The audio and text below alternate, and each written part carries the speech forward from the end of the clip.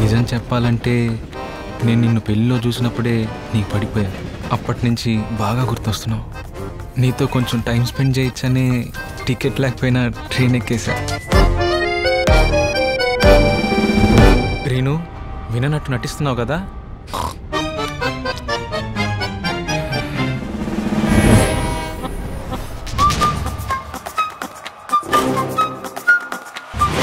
మీ తమ్ముడు కనిపిస్తాడు అందరికి. మూసుకో.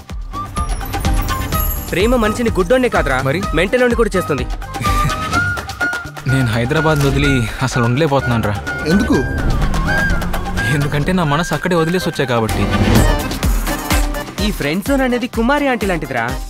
పబ్లిసిటీ పైసలు రెండూ ఉంటాయి కానీ ప్రశాంతత ఉండదు.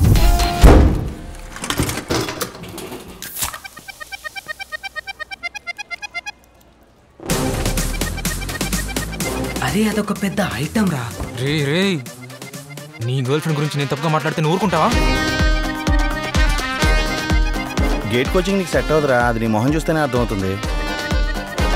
అలా అయితే ఐ మ్యారీ ఆది. అయ్యో!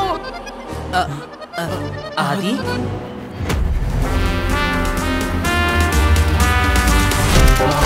రీనుక్ వయసులో పెద్దోడు తెలివైనవాడు వెల్ సెటిల్డ్ అయిన వాడు కావాలి.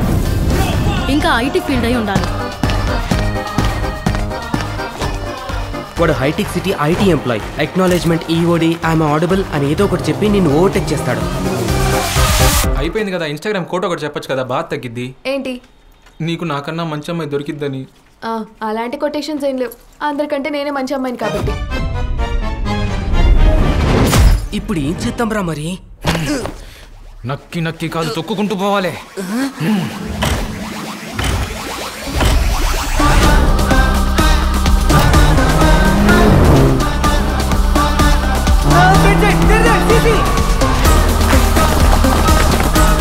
చాలా అపస్ వచ్చింది ఇంకా డీప్గా వెళ్తే నీ హార్ట్ బ్రేక్ అవుతుంది.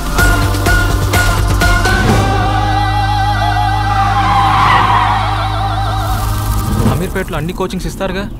అమ్మాయిలు ఎలా పడేలా కూడా నేర్పిస్తే బాగుండు.